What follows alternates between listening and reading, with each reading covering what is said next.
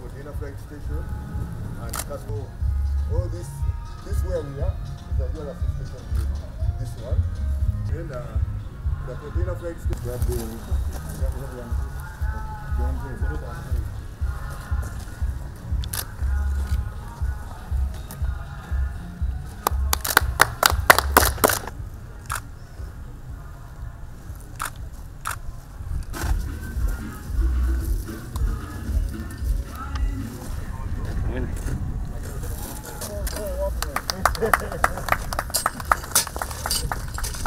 State the back, put ballast.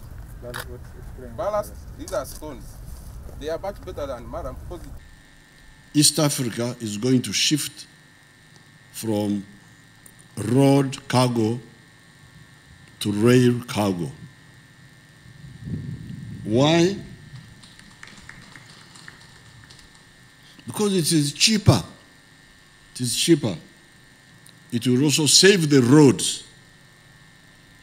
Because the other day, where a few days, a few years ago, we were in Kisumu, celebrating 100 years of the railway. That railway has never been repaired seriously since, since 100 years ago. But how many times have we reconstructed the roads in Kenya and in Uganda? So many times. Uh, We reconstruct, their, are damaged. So, definitely, so what, what should be clear is that road cargo transport is the wrong method of transport.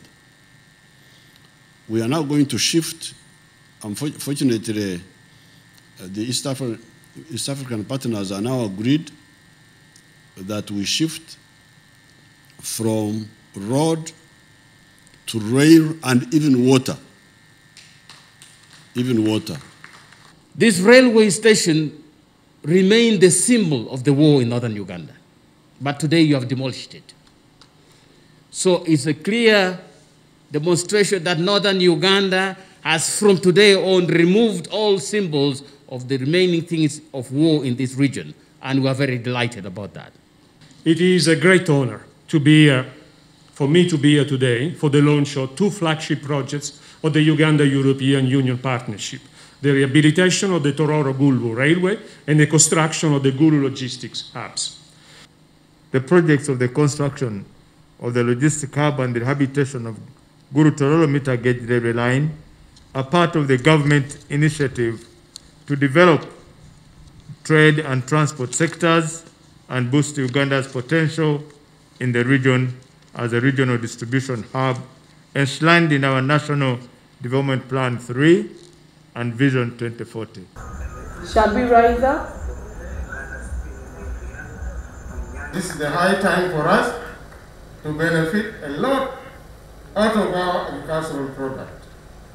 This project will go a long way in changing the face of the region and the country. Just about two weeks ago, we had a delegation from South Sudan that came. The Honorable Minister of State for Northern Uganda received them here. Business people, they came because they also want to strategically position themselves and benefit from this. So this is something that you have done to the region. It will completely change the face of Northern Uganda and the country, and we sincerely thank you for that. This is one of the most strategic interventions government has come up with for northern Uganda. For a long time, we have had social action, community action, for people to be able to survive because they have come from the long history of wars and civil unrest. But this intervention is going to make us think better than what we have been doing. When the rehabilitation of this project is complete, we hope to raise freight volumes from the current about 25,000 to at least 120,000 tons per month. We also plan to extend the passenger service, which is in Kampala, to other areas, Port Bell and Bujuku, and uh, we also extend the one from Kampala Namanve up to Mukono.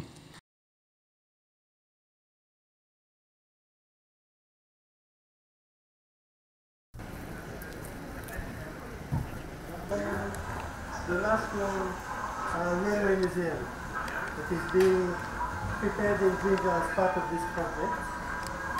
So you're very welcome to tour us. which was using charcoal. It was a curry. When we tried...